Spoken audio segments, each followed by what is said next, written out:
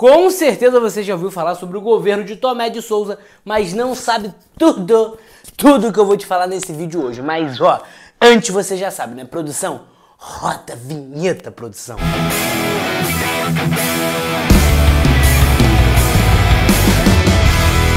Fala minha galera, essa é história, professor Pedro Rissopo com mais um vídeo aqui no canal do YouTube pra vocês, só para gente esmiuçar o governo de Tomé de Souza. Mas antes de mais nada, se inscreve no canal, ativa o sininho e curte esse vídeo que é muito, mas muito importante para ajudar o SOS História a crescer cada vez mais. Então faz tudo isso que eu te falei agora, se inscreve aí no canal, ativa o sininho para saber quando os vídeos novos vão estar entrando para você e já deixa o like, curte o vídeo porque é totalmente totalmente gratuito. Beleza? Se você quiser tirar print desse quadro aqui maravilhoso que eu montei para você, maravilhoso, deixei alguns espaços aí que eu vou preencher com você. A gente, eu vou soltar aqui um, um pagodão, um pagodão, produção, um pagodão pra gente dar uma sambada. Uma sambada. De amor.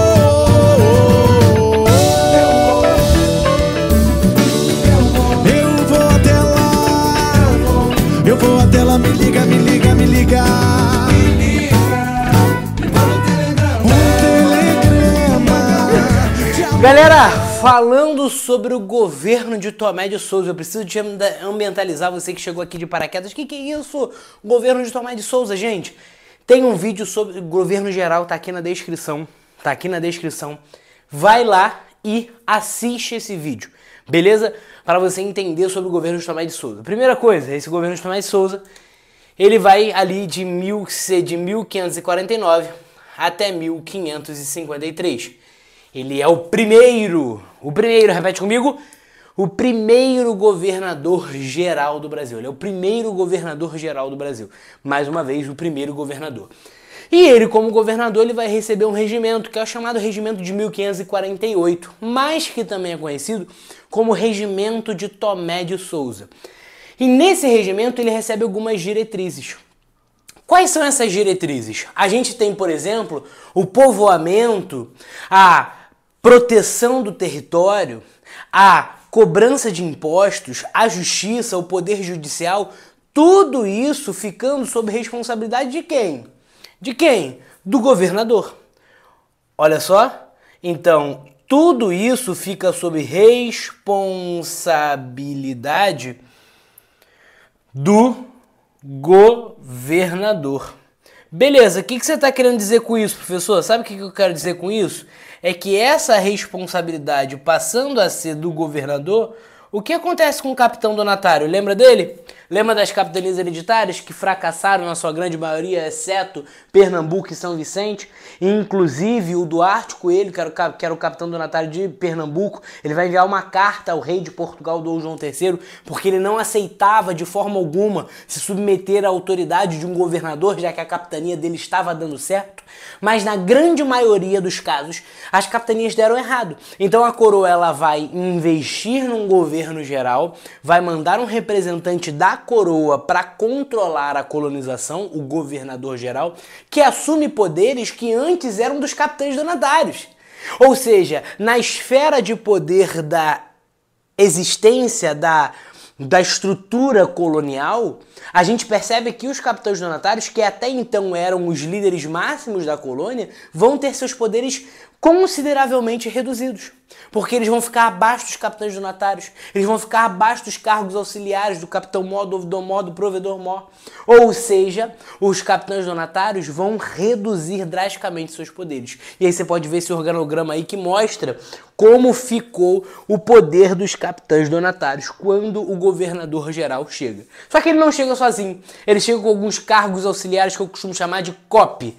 E esses cargos auxiliares nós resumimos em três: o famoso Capitão Mor. Coisa linda, coisa maravilhosa. O que, que é o Capitão Mor, gente?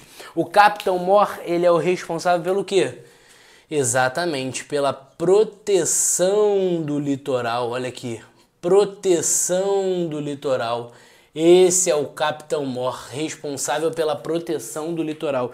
E aqui, o ouvidor mor Ó, oh, professor, então ouvidoria, né? O ouvidor, aquele que ouve, aquele que julga, o responsável pela justiça. Olha aí. Agora me fala o seguinte: quem é que coloca dinheiro na tua casa? É teu pai ou tua mãe? Os dois?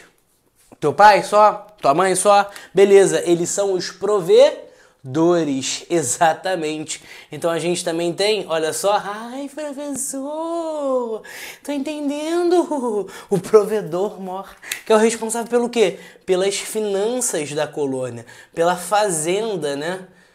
Pela fazenda, coisa linda, coisa maravilhosa. E uma outra coisa também que muda com o início do governador geral chegando é que a escravidão indígena que era liberada até então passa a ser proibida. Olha só que loucura. E eu já te explico o porquê. Mas quais são as principais medidas do governador geral Tomé de Souza? Ele vai dar início ao governo geral, ele dá aqueles primeiros passos do governo geral. Ele vai vir com uma série de pessoas junto dele e vai estabelecer Salvador como a sede do governo geral. Então, a partir de 1549, Salvador seria a sede do governo geral. Você sabe bem que posteriormente Salvador se divide, né? O governo geral se divide em dois e a gente tem Rio de Janeiro e Salvador sendo sede. Falaremos disso em breve.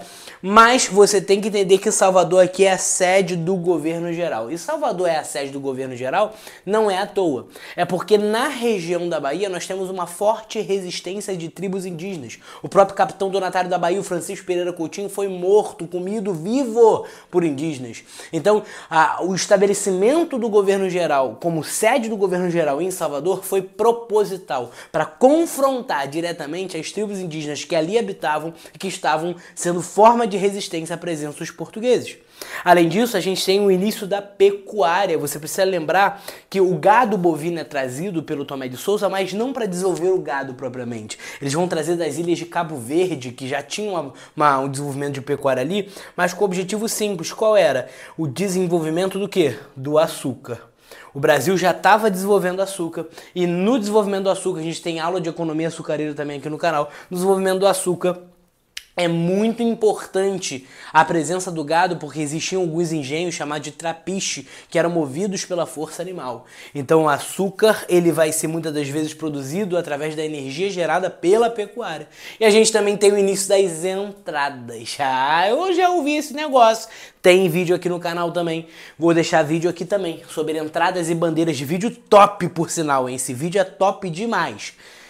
As entradas, elas são, diga-se de passagem, uma iniciativa estatal, beleza? Elas são uma iniciativa estatal, ou seja, elas são financiadas pelo Estado.